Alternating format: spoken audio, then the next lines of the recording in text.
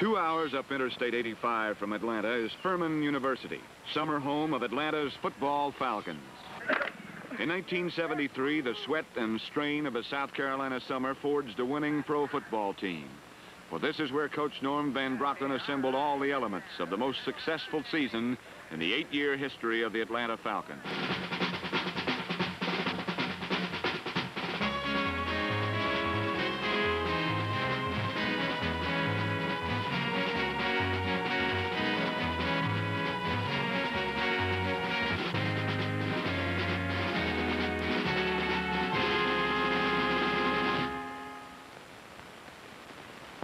I'm Dick Butkus. You know who I am and what I do.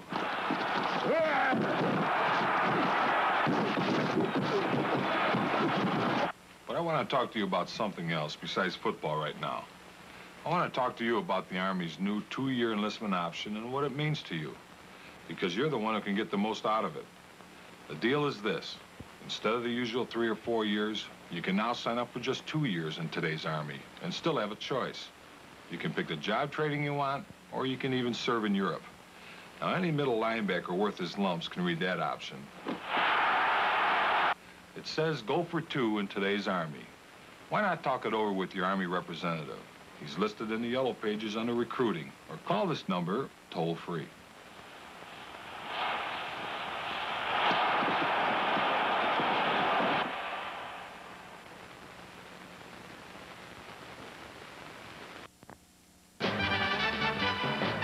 The opening of the NFL season meant three consecutive road games for Atlanta.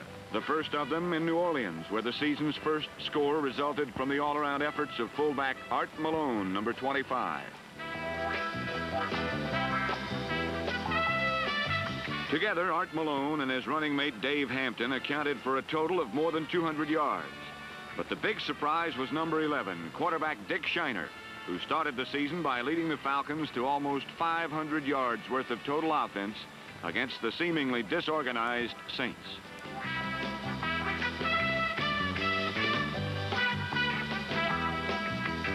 Another big opening day story was number 82, wide receiver Ken Burrough, who caught a pass for an apparent touchdown, only to have the play nullified by a penalty. Not to be denied, Burrough caught two other touchdown passes, which did count on the scoreboard.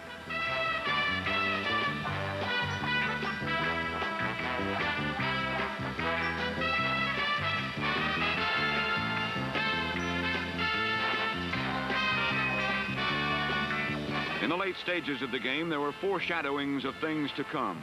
As a former Minnesota Viking quarterback named Bob Lee entered the game and connected on four of seven passes. In all, the Falcons broke or tied 35 team records as they rolled up the most points and their most one-sided victory ever, 62 to 7.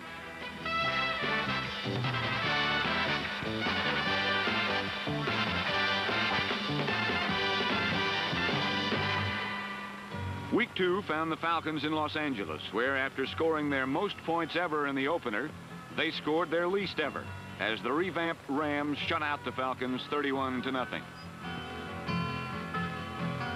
Week three brought a Monday night game in Detroit, where the Falcons again came up with no touchdowns and another embarrassing defeat, this time on national television.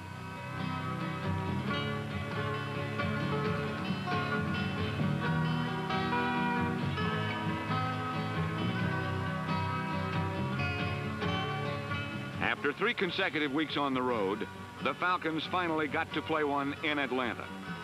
In the Falcons' home opener, the San Francisco 49ers could score only one touchdown. But for the third straight week, the Falcons could score none. The 49ers won 13 to 9, and after one month of the season, the Falcons were 1 and 3 and tied for last place in the NFC West.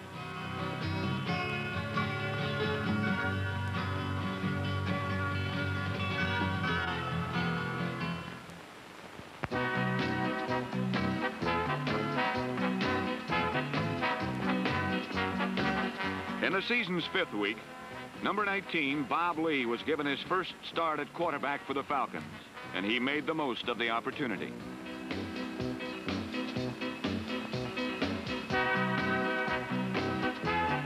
Number 43, halfback Dave Hampton immediately became one of Lee's favorite receivers. And it was Hampton who scored Atlanta's first touchdown in 13 quarters, or since the opener in New Orleans one month before. Bob Lee bombed the Bears with 11 completions in 13 attempts, and he threw to everyone, his backs, his wide receivers, and his tight end, Jim Mitchell. Lee led the Falcons to five touchdowns against Chicago. And with a backfield of Bob Lee, Art Malone, and Dave Hampton, the Falcons had three of the most important elements of a potent offense. As Coach Norm Van Brocklin said after the game, it looks like we finally got ourselves a chucker. We look like a football team for a change.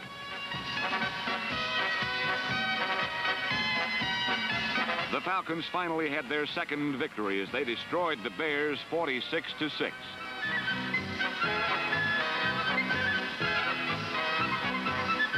Bob Lee's second start came the following week in San Diego. And once again, the offense was devastating. The scoring started with a bolt up the middle by Art Malone and continued with two touchdowns by Dave Hampton.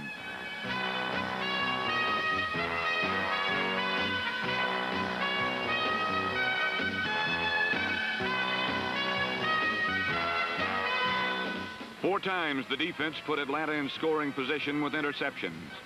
The most spectacular was by number 22, rookie Rollin Lawrence, a defensive back from Tabor.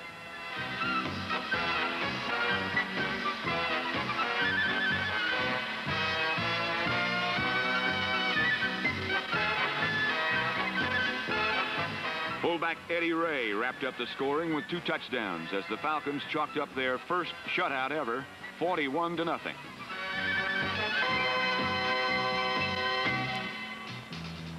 With their record now even at 3 and 3, the Falcons next moved up the coast to San Francisco for the rematch with the 49ers, who used two quarterbacks, and both were treated with equal disdain by the rugged Falcon defense.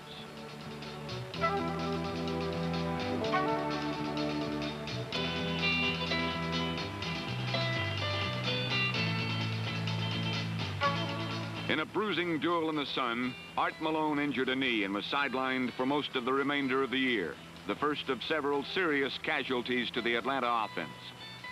But there are also bright moments.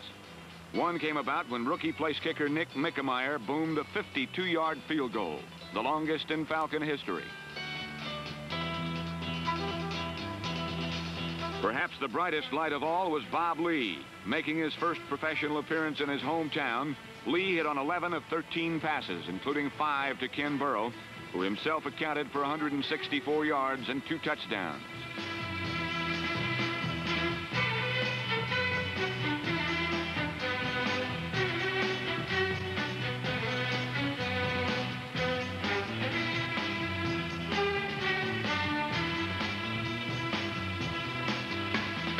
The Falcons won their third straight and their second straight on the West Coast where they had won only once in seven previous seasons. San Francisco had a new hometown hero, and his name was not John Brodie.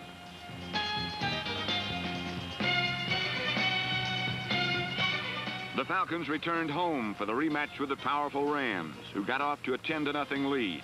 But the Falcons weren't about to allow a repeat of their embarrassment in Los Angeles.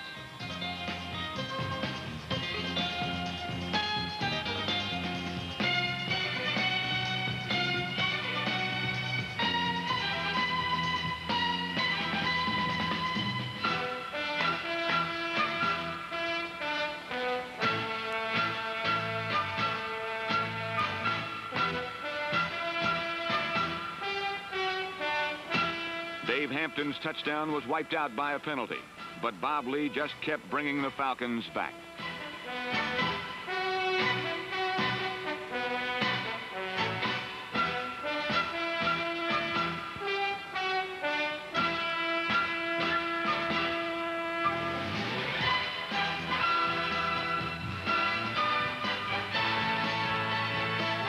Trailing by one point, with less than a minute left to play, Nick Mike-Mayer, the 5 foot 9 inch 10th round draft choice from Temple, kicked his fifth field goal in five tries. And for the first time ever, the Falcons had four straight wins and were now just one game behind first place Los Angeles in the NFC West.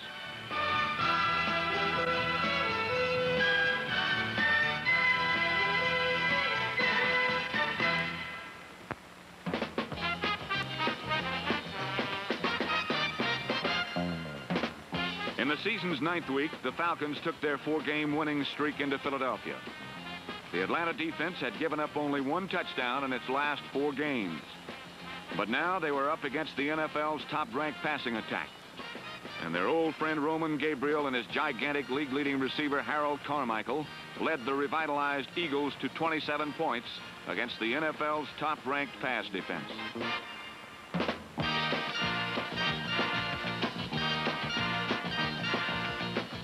In a high-scoring contest, the punting game proved to be surprisingly important as John James finally bottled up the Eagle attack with the season's most perfect coffin corner kick.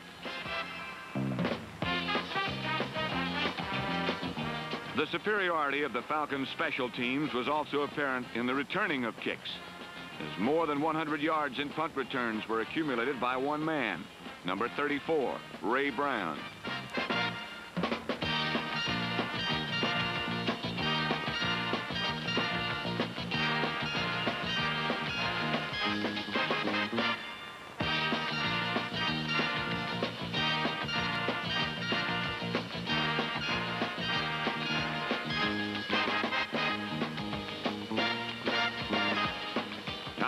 Time the Atlanta special teams had the offense in good scoring position. And time after time, Bob Lee put points on the board. 24 in the fourth quarter, 44 in all. The Falcons won their fifth straight with the help of the sixth and seventh touchdowns of the year by Ken Burrough. But unfortunately for Burrough and the Falcons, a neck injury meant that they would be his last touchdowns of the year.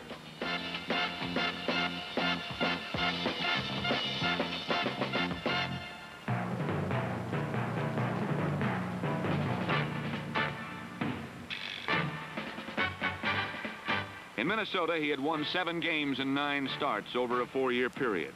But in Minnesota, he was only Bob Lee. In Atlanta, he was General Robert M. Lee and the good right arm of Commander-in-Chief Norm Van Brocklin. For the Vikings, the Georgia Peach, Fran Tarkenton, led the only undefeated team in the NFL to an early lead with a touchdown pass to another Georgian, John Gilliam. But this particular Monday night did not belong to Tarkenton and his powerful Vikings but to General Lee and his powerful Falcons.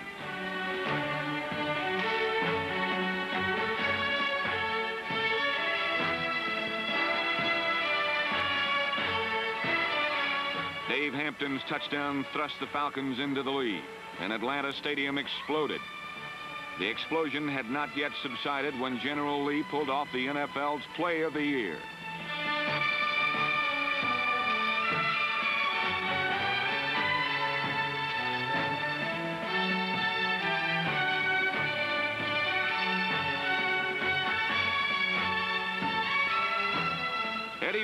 Touchdown gave Atlanta a 17-7 lead from which the undefeated Vikings never recovered.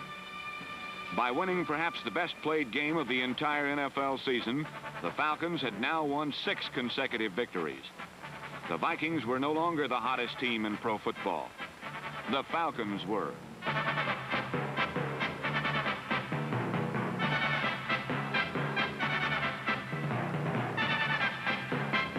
Week 11 found the Falcons in a swampland called Flushing Meadows, Long Island, to face the New York Jets and a fellow they called Joe Willie. It seemed that no matter how atrocious the conditions and the pressure, this Joe Willie guy was still dangerous.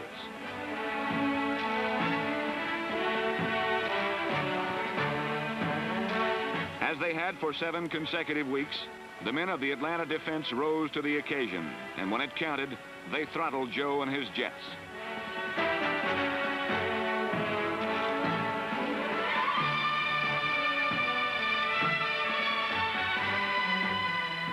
Bob Lee again came up with the big plays. This time with two rookie wide receivers who had replaced injured Ken Burrough and Al Dodd. First, Tom Geredine scored his first pro touchdown. And then Louis Neal scored his first. The Falcons had won their seventh straight, 28-20. and assured the best season record in Falcon history.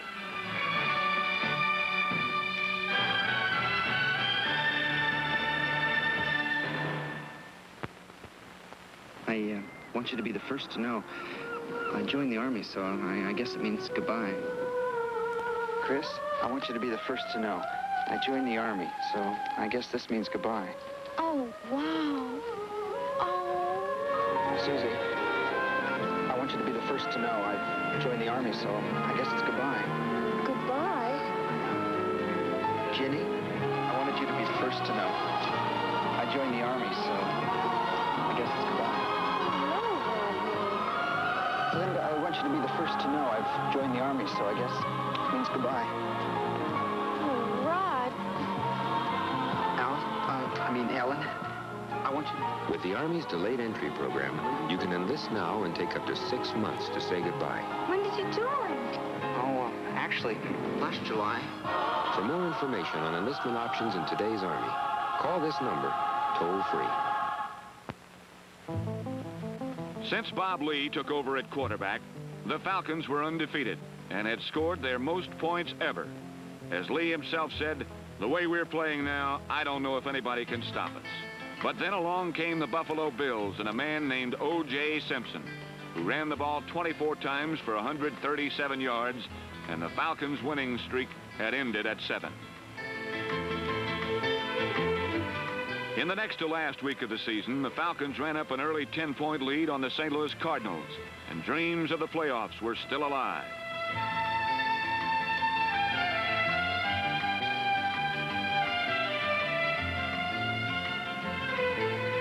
Against Atlanta, the victory-starved Cardinals came up with their best game of the season. Five turnovers helped set up six field goals and 20 points by St. Louis place kicker Jim Bakken.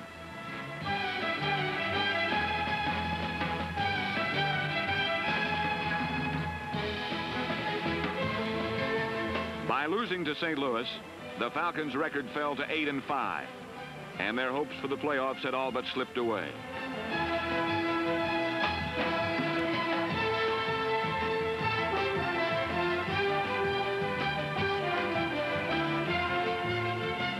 In the season's final game, Bob Lee led the Falcons to their ninth straight win over New Orleans and a final record of 9 and 5, the Falcons' best ever. But the big story was Dave Hampton and his quest for a 1,000-yard season. For Hampton, the final game was almost an exact replay of the previous season's finale against Kansas City, when he fell short by just five yards. This time, he needed 87 yards, and he got 84, just three short of Atlanta's first 1,000-yard season. Like the Atlanta Falcons, Dave Hampton had once again been stopped just one step short.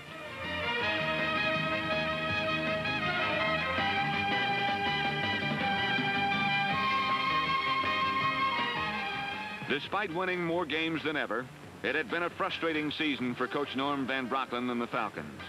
But there were many bright hopes for the future. One shining hope was the Atlanta defensive team, which finally gained league-wide recognition as one of the finest in the game.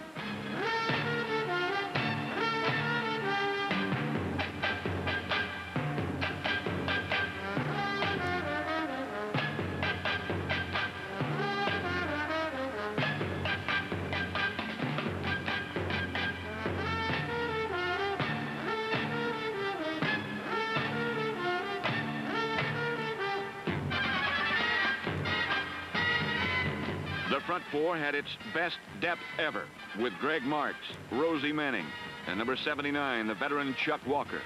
At right tackle was Mike Lewis, number 69, one of the league's toughest hitters. At left tackle in his first year with the Falcons was one of the league's most respected linemen, number 74, Mike Tilleman.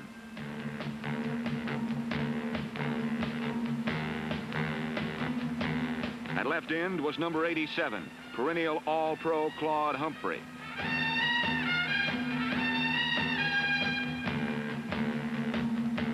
At right end was one of the league's best and most underrated players, John Zook, number 71.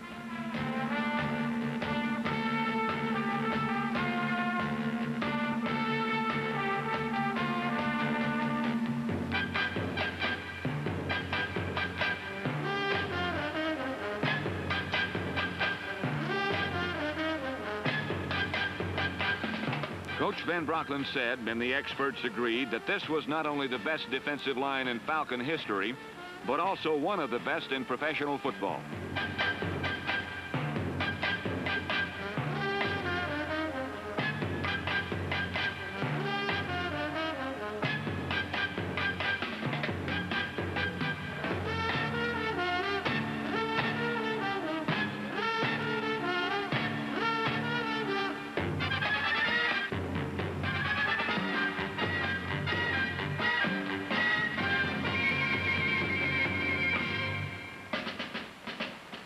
Up one of the league's best lines was a trio of the league's best linebackers.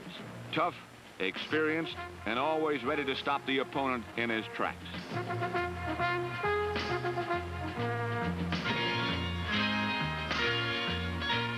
The Falcons also had quality depth at linebacker, with established veterans like number 59 Lonnie Warwick in the middle, and number 51 Duane Benson on the outside. The left side was manned by one of the most dependable and surest tacklers in the game, Don Hansen, number 58.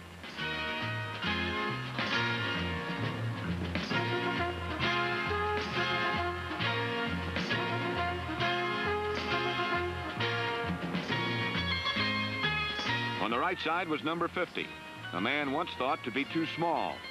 But what Greg Brezina lacks in size, he makes up in determination.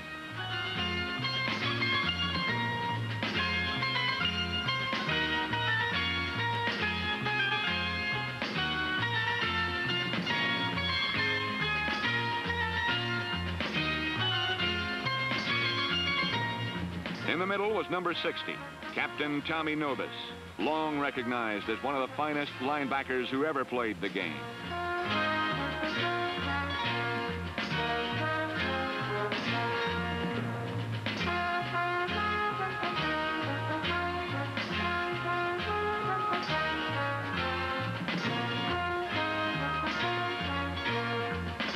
The Falcons led the conference in pass defense, holding the opposition to the fewest total yards and the lowest completion percentage, well under 50%. No matter who was throwing the ball, there was a strong possibility of an interception, with ball hawks like Captain Ken Reaves, Tom Hayes, Tony Plummer, Clarence Ellis, and the team leader with six interceptions, strong safety Ray Brown. The conference leading pass defense was one of the major factors in the Falcons' finest season.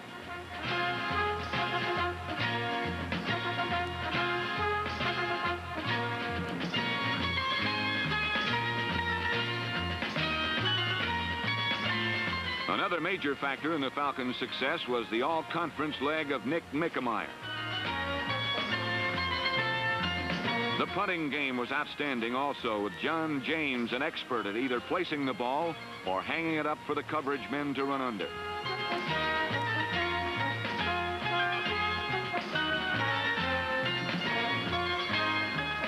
The Falcons' excellent special teams were another essential ingredient for winning football games.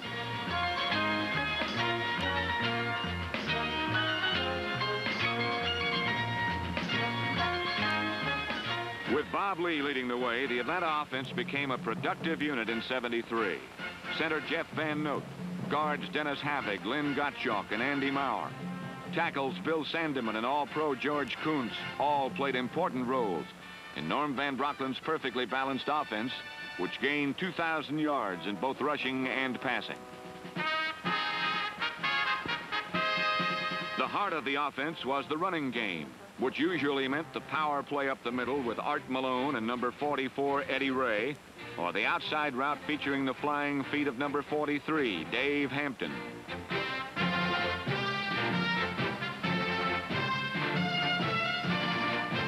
A winning game plan must also include Captain Jim Mitchell, number 86, who knows only one speed, all out. With another year of seasoning for number seven, backup quarterback Pat Sullivan, and with the return of game-breaking wide receiver Ken Burrough, number 82, and with another year of experience for improving young players like number 84, Tom Geredine, and others like Louis Neal, Joe Washington, Greg Marks, Rosie Manning, Ken Mitchell, Rollin Lawrence, Ray Easterling, Larry Mialik, Nick Bebout, and Ted Fritsch, and most of all, with the established leadership of quarterback Bob Lee, the realization of one of Norm Van Brocklin's long-standing goals is near at hand. In 1974, the Atlanta Falcons will have a quality player at every position and all the elements of a victorious future.